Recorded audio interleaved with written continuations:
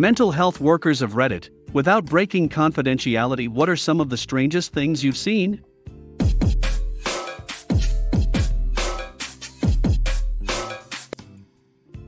This patient was in a neuro rehab unit I used to work in, but she had severe depression, so I'll share it.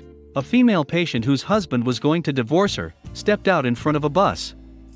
She was left with a severe brain damage, completely lost her speech and independence, and she had to be checked on the unit almost constantly because she kept ripping parts of plastic off her incontinence pad and trying to choke herself on it. I can't ever forget that, the pain and suffering in her eyes. An elderly resident we have with vascular dementia usually spends most of their day coloring. One day I cleaned up her papers and on a sheet of A4 paper repeated over and over with lovely handwriting were the words locked doors, locked doors, locked doors. This lady never talks slash communicates. I felt so awful. Just using female patients with borderline personality disorder as an example, they tend to be almost childlike in the things they enjoy. They often are the ones with pigtails, excessive, exaggerated makeup, and giant Tweety bird slippers and coloring pictures. I guess I see how, in cases of other diagnoses, it could also be therapeutic. It seems like it could channel your focus like a funnel into what you're doing. Music seems to be the same way. Some of the most gifted artists and poets have been mentally ill people I've met. I'm not a worker, but I was in a psych ward. I wouldn't call it strange, so much as fucking depressing, but there was a boy there with me, keep in mind, every other patient was in their teens, maybe 8 to 9 years old. I was there for 4 months. He never had a visitor. That is not to say that his parents didn't enter the ward. They did. To get reports from his doctors. That's all. They would never visit with him, never sit with him, never try to break through the walls. He just sat, Every day, from the time we all left our rooms until the time we had to clear the day room, he just stared at whatever was on the television. Kid literally had no chance in hell of ever getting out of there, or having a life of any kind. I've also been in the psych ward, major depression, and one of the women I talked to had similar parents growing up. Her mother would do things to make it look like she was mentally ill when she wasn't, like ordering her to eat all the pills in the medicine cabinet, so she could take her to the hospital.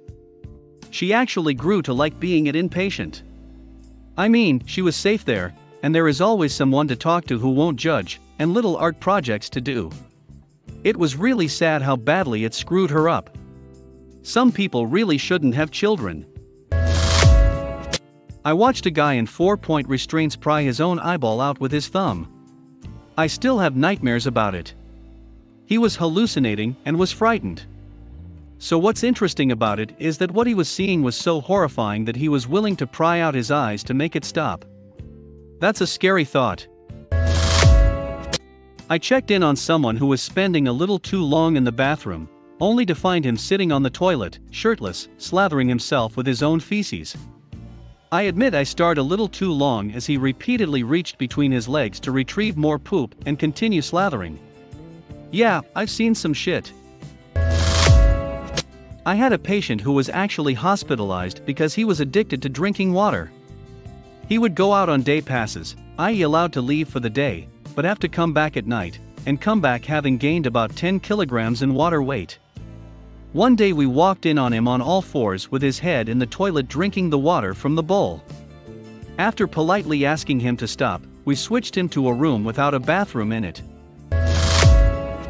Having to watch certain patients shower because they either were water intox patients or would physically harm themselves. Or both. I'll never see the human body the same way prolapsed rectums, mutilated genitals, all kinds of self harm scars. Years ago, I once had an elderly patient that, thankfully on my day off, I heard about it on my return, was caught rolling little balls of shit up and lining them up on her bed rails. When the nurse walked in and saw it and asked what she was doing, with a big toothless grin, gleefully rolling another, the old lady exclaimed, making candy. You want some? I got to spend a lovely day as a nursing student with a man coming down from drug induced mania with a side of bipolar disorder. We were in the middle of a chess game, and he felt the need to inform me that while I was doing my very best, Jesus was a much better player. Come to find out, this man is in fact the Holy Spirit, so while spending quality time with another member of the Trinity, they naturally turned to chess. But he thanked me for my time all the same. I work at a teenage psychiatric facility as a counselor. I've seen sticking staples slash sharps in eyes, masturbating psychotics, cutters, psychotic meltdowns, pooping in the seclusion rooms, selective mutes, a guy who can vomit on command on staff, a girl who's constantly hospitalized for swallowing batteries, one who sticks pencils into the backs of her knees, clients attacking staff, myself included, suicide attempts, schizophrenics describing their bizarre dreams. Never a dull moment.